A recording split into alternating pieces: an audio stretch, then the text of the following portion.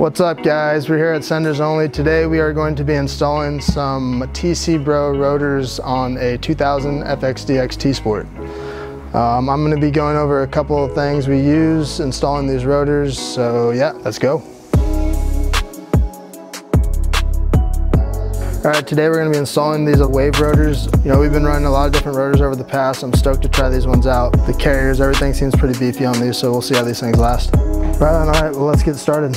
We're gonna be pulling out the front wheel first. We're gonna need a couple tools, uh, 3 quarter inch wrench, 5 16 Allen, uh, quarter inch Allen for the fender, uh, 9 16 for the pinch bolt. Let's go. We're gonna start by removing the fender, removing the calipers, um, get everything out of the way so that way we can uh, get that front wheel pulled off. All right, yeah, we're gonna go ahead. We're gonna start with a T40, go around, get all these, get all these broken loose so we can get this rotor off.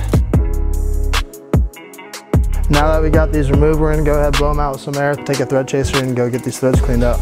Normally this is a very important procedure to do, especially on a bike this old. A lot of these threads are normally gummed up with Loctite.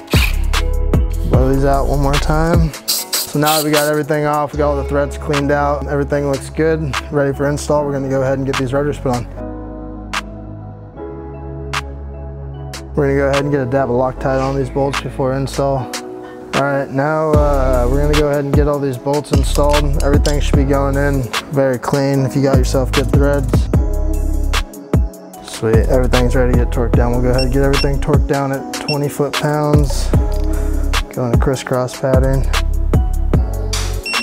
All right, we're gonna go ahead and just for aesthetics, we're gonna match these rotors up on both sides, make sure we got both the logos matching.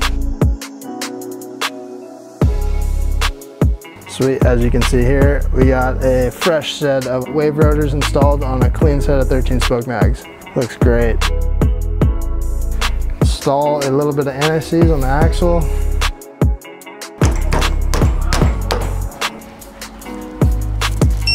We moved on to the back wheel, you know, same procedure pretty much, just a couple different tools. Uh, T45 for the rotor bolts and a 3 8 uh, thread chaser. Let's go ahead and run this 3 8 chaser through here. Everything feeling good. It's cool with the rotors, they'll offer you a, uh, you know, an inner spacer for your 1.9 wheels, your Timken wheels, or obviously no spacer, you know, you can run them on your sealed bearings clean these threads up and reuse these bolts. Just run the same procedure here on the rear, just make sure these threads are nice and clean. All these torque in, finger tight, and we'll go ahead and get all these torqued down to 40 foot-pounds. We're going ahead to get this wheel back uh, back on the bike reinstalled. Uh, we'll just get everything cleaned up, grease the axle, and get everything torqued down.